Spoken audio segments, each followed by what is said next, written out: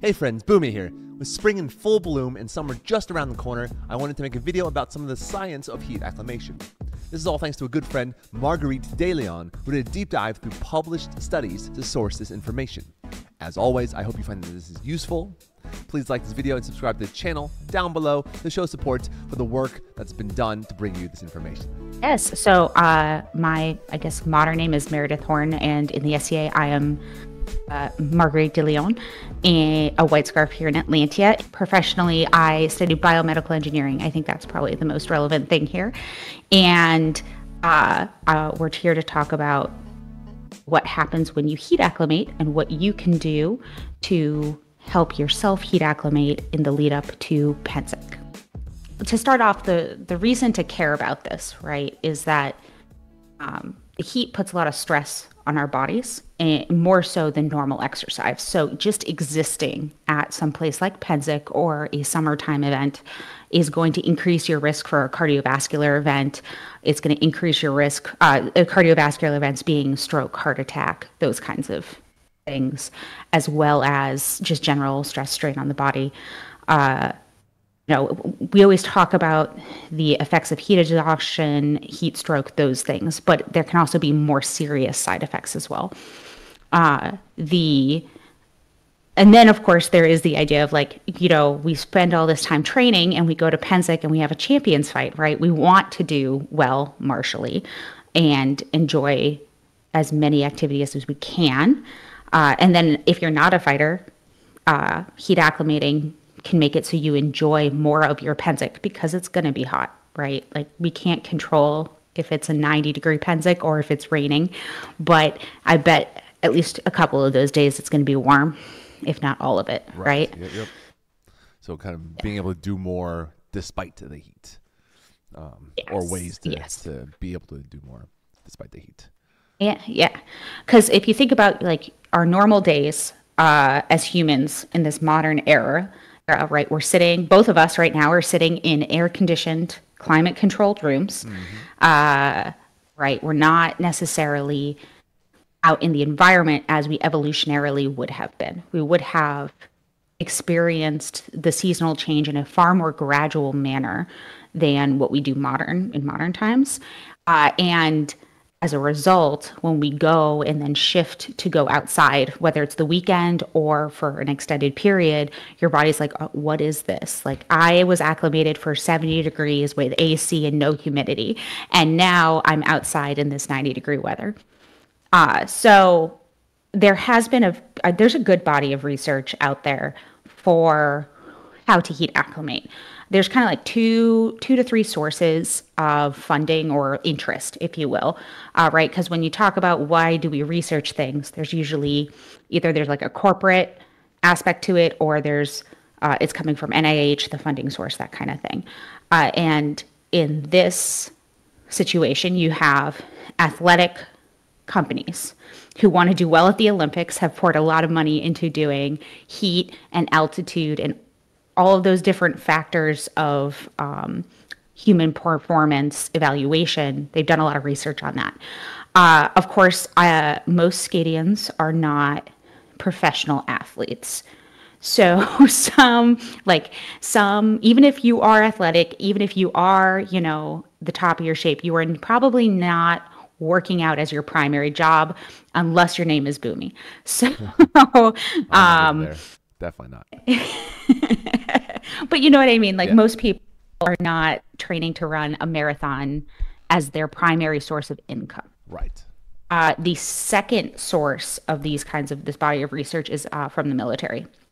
Uh, because what happens is an event will occur, you know, whether it is uh, uh like eh, whether it is a conflict or a humanitarian event, uh, or humanitarian disaster, excuse me, and our country is going to provide aid. And at the drop of a hat, you can have troops deployed from here in the United States anywhere to anywhere in the world. So they have a lot of research on what do you do if it's sub two weeks, if it's sub a week, if it's 72 hours before you're uh-huh. getting on a plane and going somewhere. Yeah, that makes sense. Yeah. So And that research focuses more on people of, I would say, a broader range of physicality going in, um, still above average, of course, for compared to like un, the everyday population in the United States. But, you know, that's what we got. So, um, any questions so far? No, that's great. That makes a, a lot of sense as to where the data comes from. It also makes sense as to um, the reasonings we would want to try to find, uh, I suppose, relevant information that we can glean from from that data. Mm-hmm. Um, do you want to show us some of that data? So it's kind of the next. Uh, Well, so they don't. mm, We got this big old paper. Uh, this Yeah, guy. This guy talks about they have this whole. Let's see if we can get this bigger. Um, one of what to do in your heat acclimation protocol.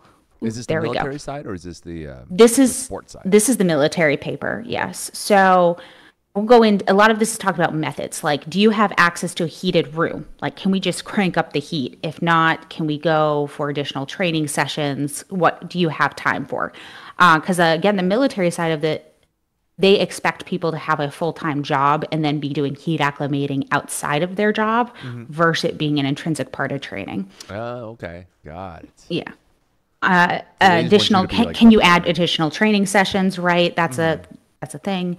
Uh, can groups acclimate uh, acclimate together. Uh, that's a, a whole interesting uh, series of things uh, that we'll talk about in a second uh, can we supervise so if you said yes to all of that what they actually do is put you all in a room and they turn up the heat uh, so they call it controlled uh, hyperthermia. So if we've heard of hypothermia, that's a reduction in your uh, your core temperature. This is an intentional increase of your core temperature, and uh, essentially that increase of your core temperature is fundamental to what they measure and what we believe the biological basis for heat acclimation is.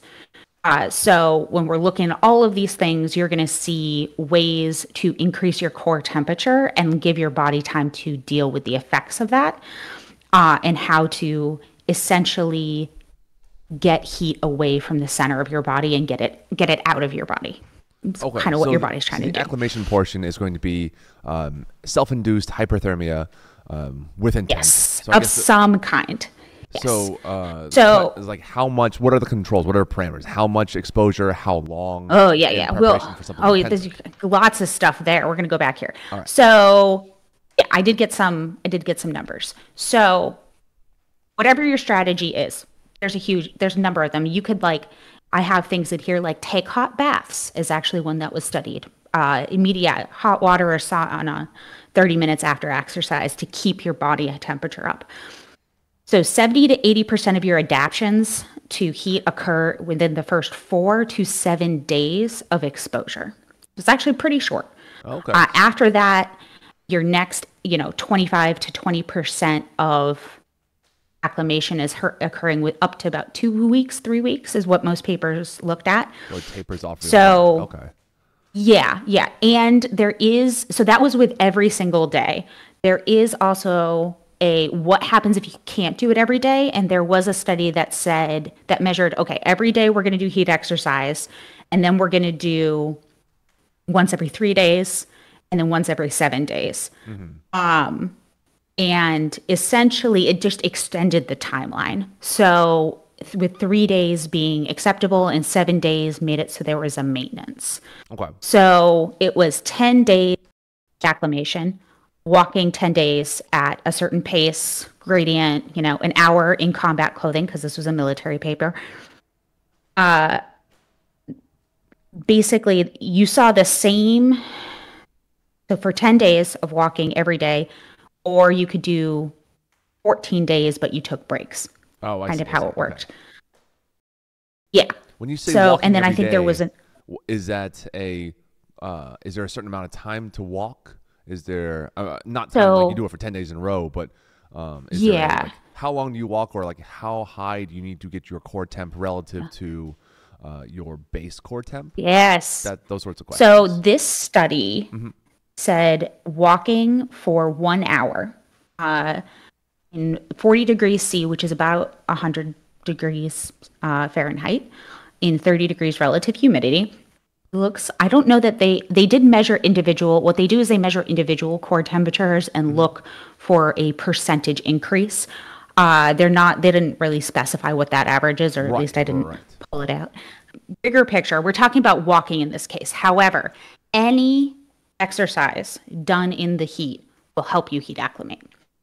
The quote gold standard for athletes is to do the exercise that you are going to be performing, you know, in your whatever situation, Right, your your, your Olympics, your World Series, whatever.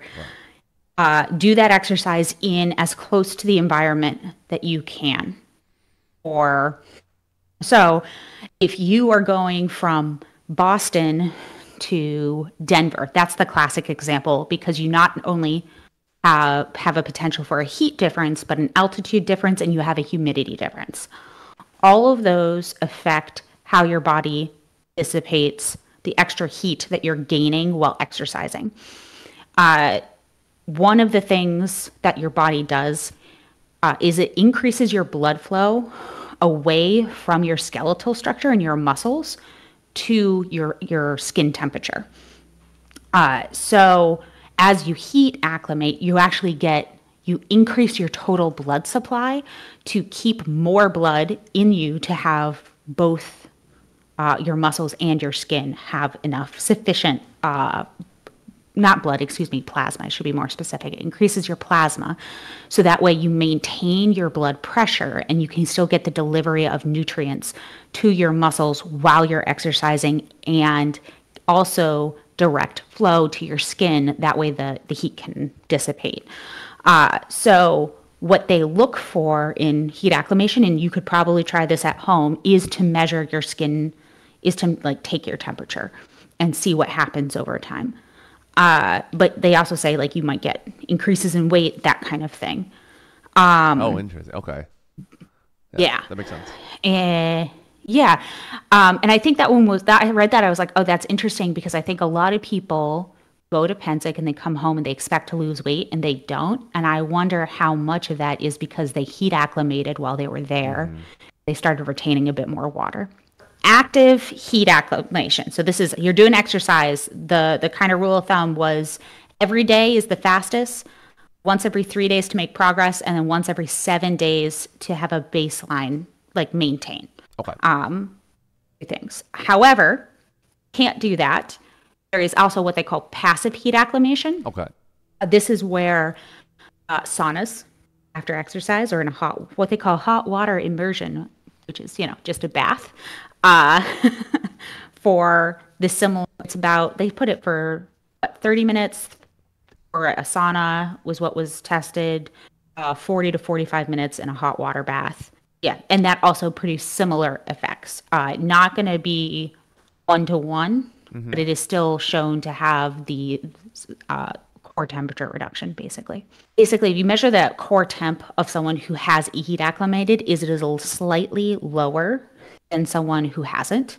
Uh, and it basically just gives your body more room to get warm before it needs to really start pushing that heat out uh, to maintain, you know, cellular structures and everything that's going to start breaking down once you get too hot. Um, okay, so what do you do if you don't have? Said it was four to seven days, so less than a week, let's say. Um, the big one is that daily heat exposure. As I said, it was like four to seven days of daily heat exposure will help. Um, so that's like the week before Pennsic, if you wanted to do it, think of it that way, or the week before, let's say Ruby Joust here in Atlantia is a big one that might the heat might be quite high for, um, or even less than that, say less than four days. Uh, so another one that I thought was really interesting, and uh, the water bearers will not like this, uh, permissive dehydration. So you intentionally let yourself remain like you do exercise run around, whatever. You don't consume water for 30 minutes afterwards. Right. Intentional dehydration. So, like intentionally give yourself like 30 minutes. Uh the this found that it was five days of normal heat acclimation. In this study, they did 90 minutes of cycling every day, uh, where they measured the core temperature of the person uh, versus the they had two groups one that immediately drank as much water as they wanted whenever and one that abstained from fluid intake for the duration of the exercise and about 30 minutes afterwards Okay. the uh, group that didn't that abstained that didn't drink had 8% more higher increase in plasma volume uh, or excuse me, it was 8% total increase in plasma volume versus 4% of the ones that were drinking whenever they wanted. So, again, that plasma volume being important because your body is trying to pump blood to both your skeletal structure or your muscle structure and to your skin, uh, nutrients for your muscles, and then heat dissipation for the skin. Okay. So, th- the plasma going up is important. Yep. Makes sense. Uh, yeah. The second one was protein intake. Was increasing the basically increasing the amount of protein increases your plasma. Excuse me, increasing the amount of protein you consume increases the amount of plasma you contain. Basically, which I think is pretty pretty well known. Like you you need water with your. Most people recommend if you're taking protein to also drink more water. So after that, it gets into what do you do at an event or at in in the situation where there's a lot of heat, um, which was also interesting. Um, so oh, so one of the things I also did read about was about was the they include too much data on it just because uh, it was hard to get access to papers that didn't have a paywall for everyone, but Right. the your clothing that you wear changes how you sweat. Okay. So, if you are wearing like a tank top and shorts when you go and do your heat acclimation, your body is going to learn to sweat where a certain way.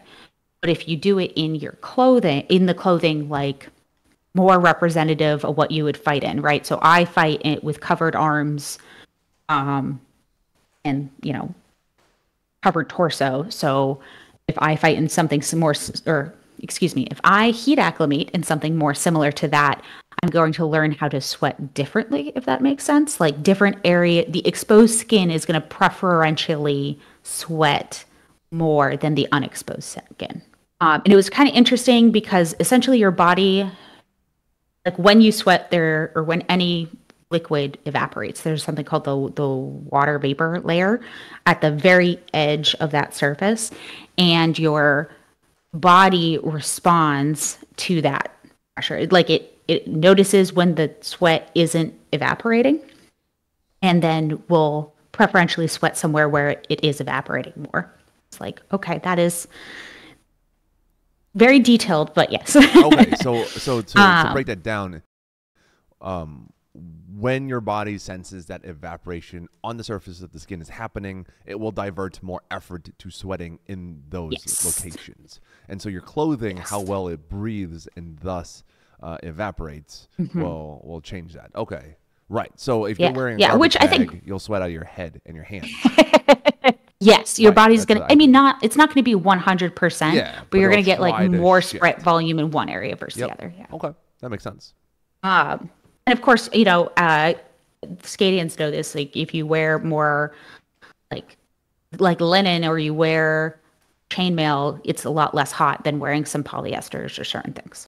Right, right. So generally, it is um, maximize surface area um, that can Mm-hmm. breathe, given the context of what you're doing, uh, the fighting or, or whatever it is that you're doing.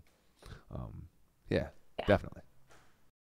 Uh, the other one at Pennsic that is interesting is that sunscreens and deodorants can impair your evaporation, your your sweat. Um, cool. Uh, well, uh, circling back to the deodorant portion, did that come from the military or the? Uh, That was else? a separate. I, kinda I think actually they quoted it was a sort. Uh, it was cited in the military studies, but it was a Oh, interesting. yeah, there was 130. So that's the one that they referenced. That's the actual public publication. Yeah, It's the PubMed. Uh, this, so this one I don't think has. Yeah, we can't see too much of what they did. Oh yeah, here we go. This is what where this was. Yeah, you can see it was the antiperspirant sunscreen B was the mineral sunscreen. I wish they had just called it mineral sunscreen. Um, but the control is no blockers, nothing, uh, and then sunscreen A, and again antiperspirant, which is slightly different than a deodorant. It's the important one, and then yeah, the I think there was also two, wasn't there? It's another study. It's 139. It was the aluminum is this one. Mm, okay. Yep. Yeah, which is the it's the heavy metals that block it. Makes sense. But uh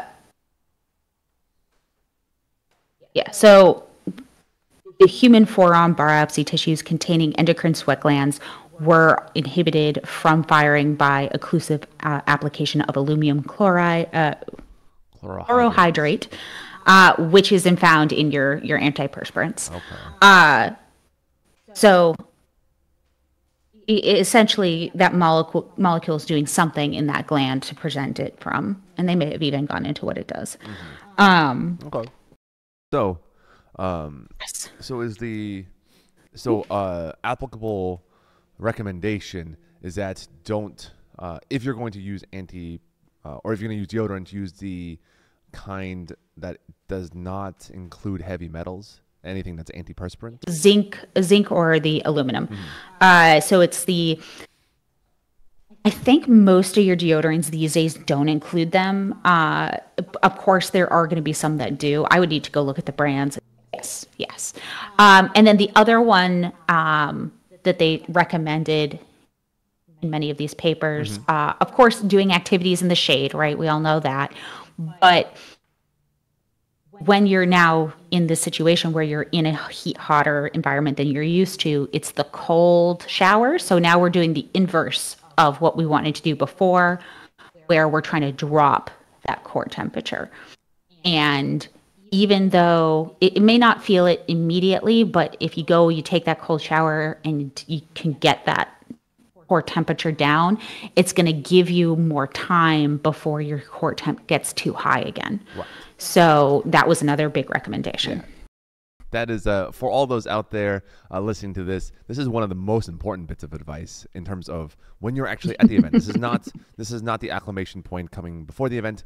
At the actual event, wherever you are, uh, when you are starting to feel overheated or any symptoms thereof, the most important thing is to lower that core temperature, and that doesn't necessarily mean you have to um, like take all of the, the gear off. If you're like, hey, I'm in the middle of a tournament, I can't. It's not very functional. What you can do is just take ice and put it onto your core or any cold liquid, just things like that. Or take off something that makes if, if, if there's an outer layer that prevents breathing, uh, as far as airflow and evaporate, uh, all that matters. All of that matters. And I know per- personally, I try and keep cold beverages. So for Pennsics, this doesn't work, but what I do is I freeze water bottles the night before.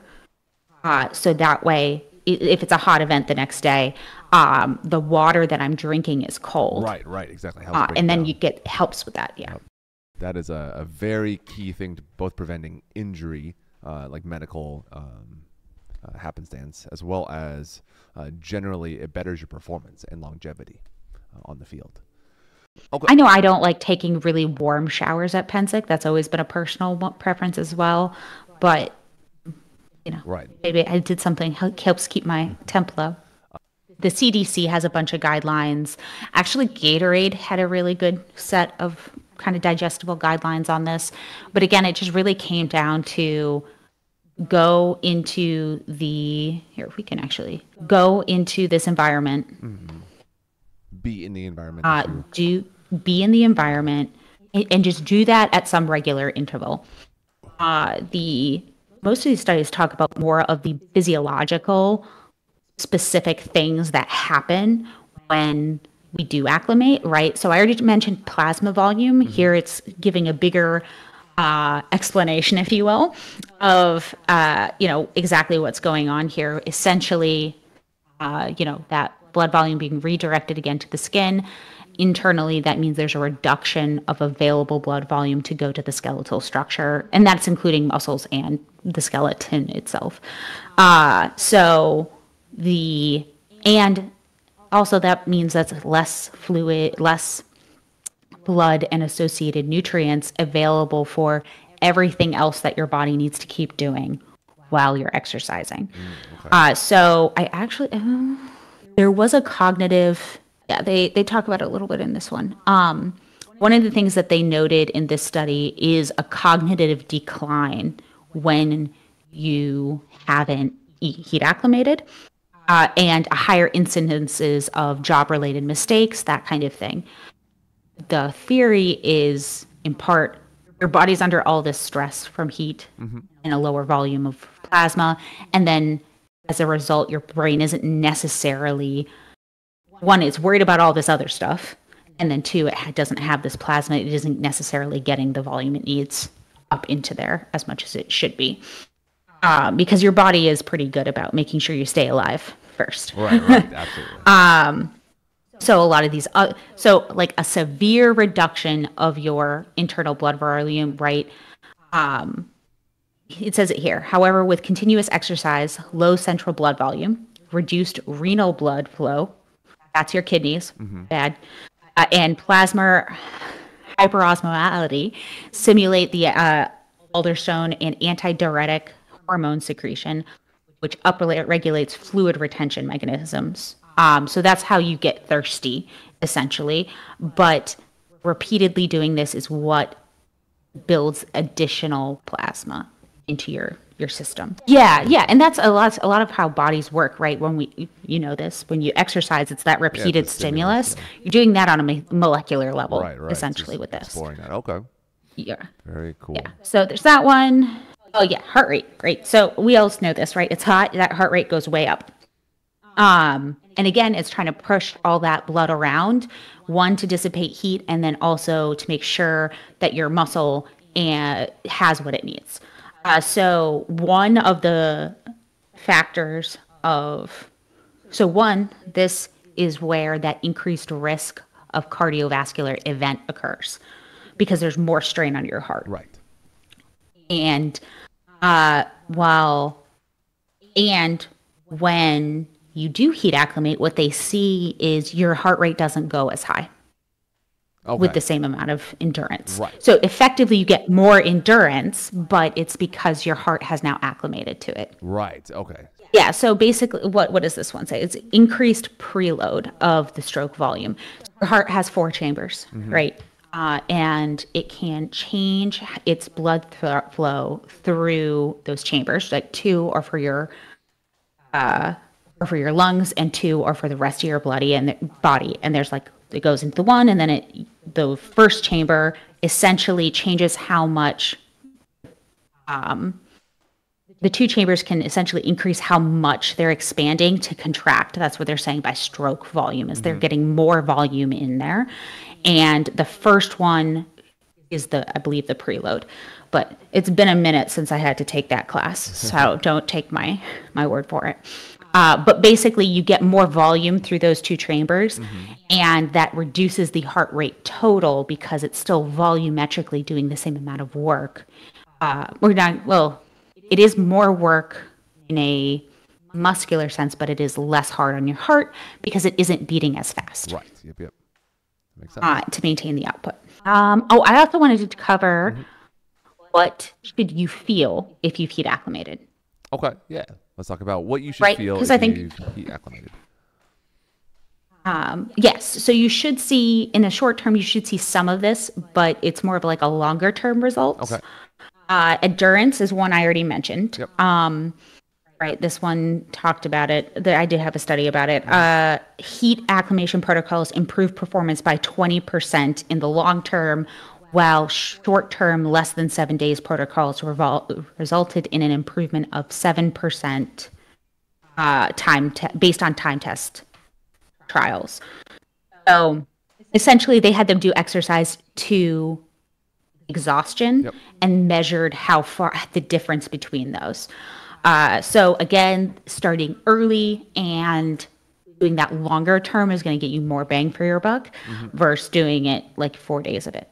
That was the biggest one of like things you could measure, which is like if you're a person who runs or something like that. Uh, and then the other one that you can measure is body temperature, taking your temperature every day and seeing it, it should drop a little bit. A lot of these studies looked at people in what we consider the prime of their life, 18 to like 35. Uh, and there was a couple notes uh, because generally they basically as you age, your the effect of the responsiveness to heat acclimation doesn't necessarily change. Like you will heat acclimate with exposure, that kind of thing. However, your thermal tolerance lowers. So they basically said it isn't well studied, but people who are older may need more time to fully heat acclimate than these two weeks we're talking about. Okay. Yep. Um, it was also noted that certain medications can affect, affect heat acclimation, but I couldn't find anything that said like it didn't occur. It just took longer than for someone not on those medications. Did they give a any sort, or have you found any sort of a timeline for either the It- medications or the age? Any cor- correlation? No, it- So or they're not. it was just done? it was just like it was like just a noted um i i suspect it's a not enough of the tested population fit into those two categories right. to to, for them to have enough data Right. uh so yeah. Okay. um and then the other one that increases heat tolerance is general fitness activity um so the higher fitness you are starting your body actually from doing exercise has already come up with these ways to deal with the heat you generate and it's better over time however they did note being better being in better shape it does not replace having a heat acclimation regime um, so the two kind of work in tandem Right. So you're Uh, and then- going to adapt faster and, and be more comfortable if you're in better shape. Um, yes but not. which makes sense but it does not uh, replace the results of like the couple of weeks of prep work Mhm. that can yield much better Yeah. results for for actually just being there and acclimate Yes. Okay. Oh, and then the last note, which is actually which is kind of nice, is that uh, there uh, they have okay. Uh, so in terms of people these days are pretty familiar with genetics and DNA. Um, right, DNA is the source of the the, the base codes that produce our proteins. Um, there has been a lot of research the last 20 years into, and maybe longer, but um, what we call epigenetic factors, which are a class of proteins that sit on our DNA and regulate when those genes are expressed. Uh, I distinctly remember my college professor describing them as a giant gorilla that would bat away proteins that try and bind and replicate the DNA so you could produce protein, uh, which is just a visual that stays with you forever. But uh, they can they can prevent or uh, encourage expression of genes. And with heat acclimation, uh, they have found that every year you heat acclimate, you get more of these epigenetic factors that are related to heat acclimation.